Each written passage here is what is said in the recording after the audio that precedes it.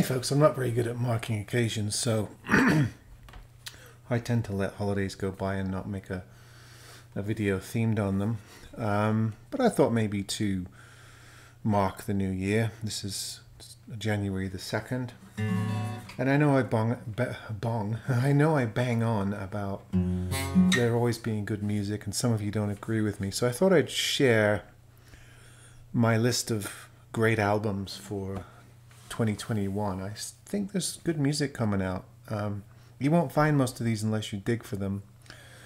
But here's some just some of the albums that I enjoyed this year. Uh, King Woman, uh, really good band. Um, kind of psychedelic, a little bit of metal, rock, um, a little gothicy.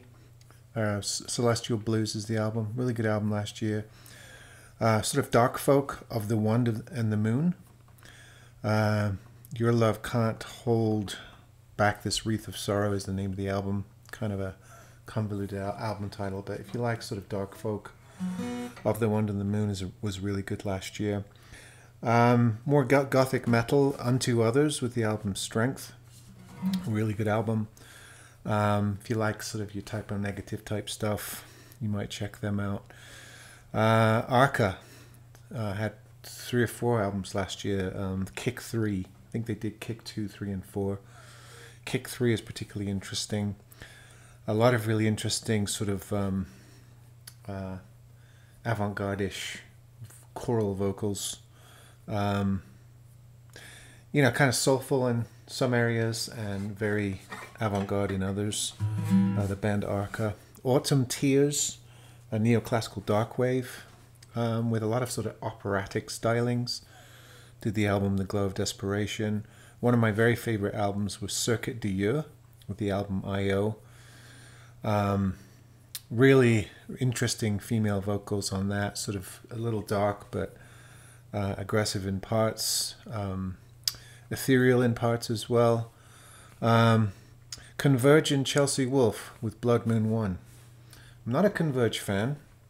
I don't really like metalcore that much, but this isn't that. It's very different. I think the um, addition of Chelsea Wolfe, who's a really great female vocalist, kind of like King Woman, Emma, Emma Ruth Rundle, uh, I think really adds a nice dimension, and it's not the usual sort of converge uh, album like Jane Doe or something like that.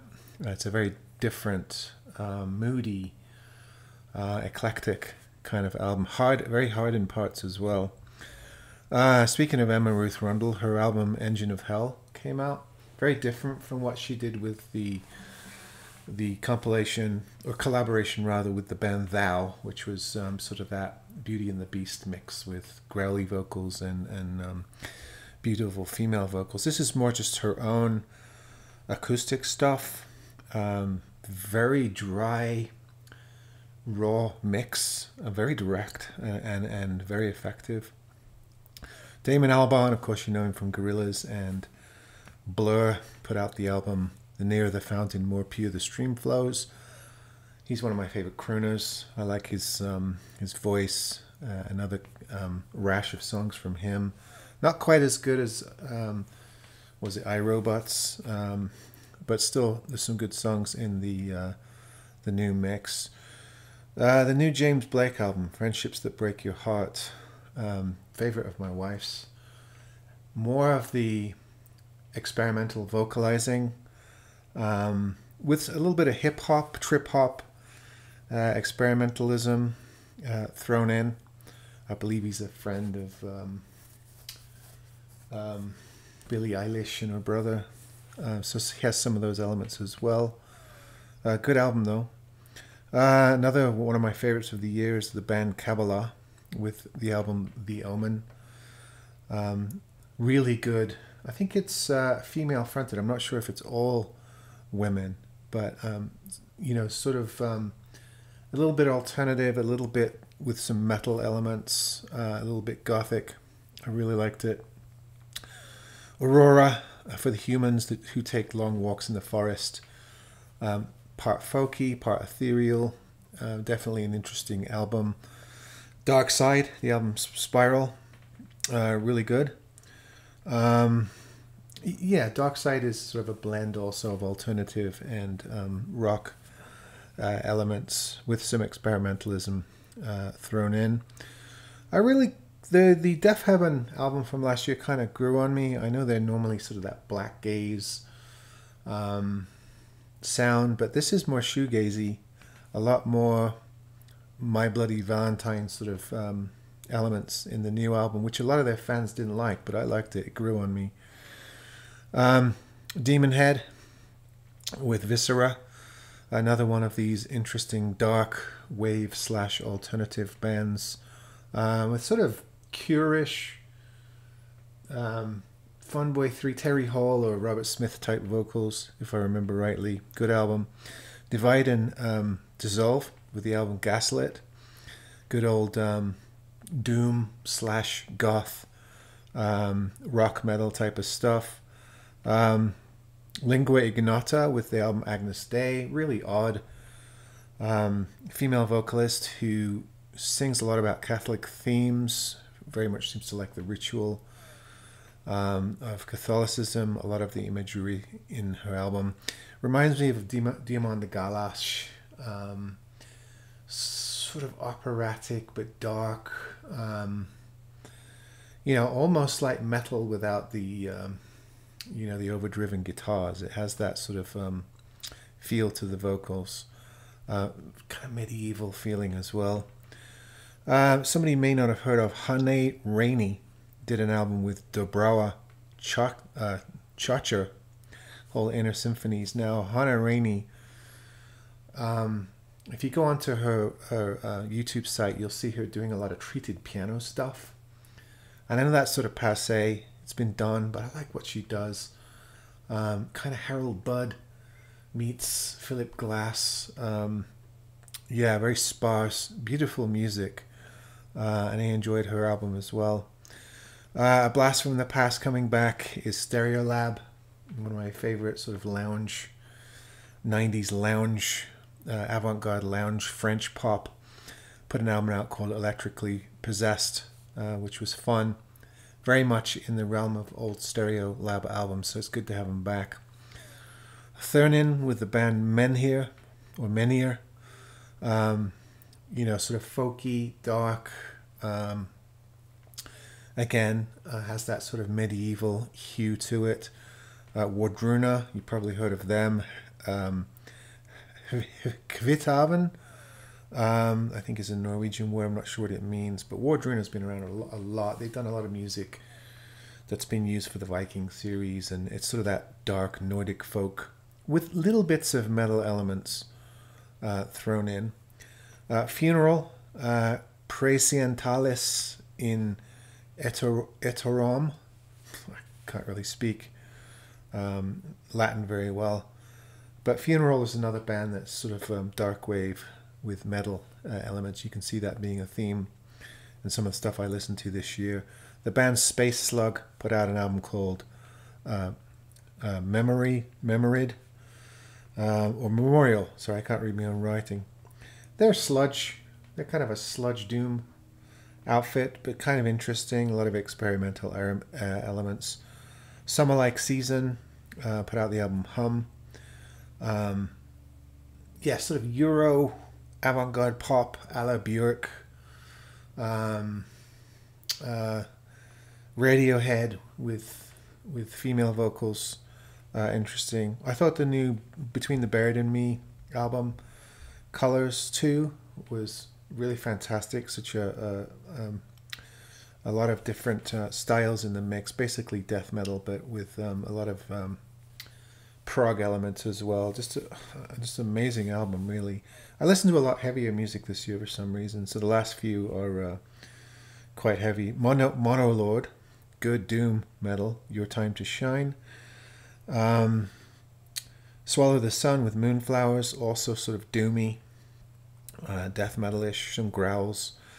The band Jinjer with Wallflowers. Um, this is an interesting sort of progressive metal group that the singer can do the most beautiful, ethereal vocals and then move into sort of a Billie Holiday sl- slash Sarah Vaughan jazz style and then do death growls It's really quite something.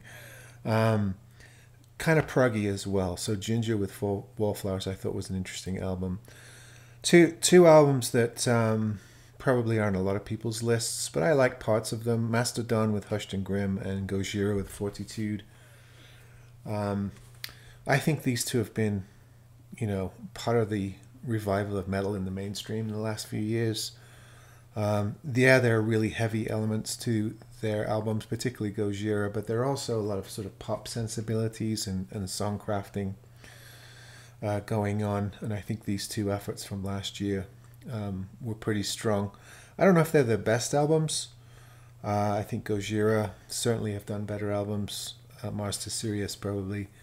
Mastodon 2, Crack the Skye was probably better than this new one, but uh, I thought they were decent efforts. And then an, a, a, band new to me called Khemmis um, did a song called, uh, album called Deceiver that I thought was really good. Again, sort of dark, doomy metal with um, some growly stuff in it, but mostly clean vo- vocals.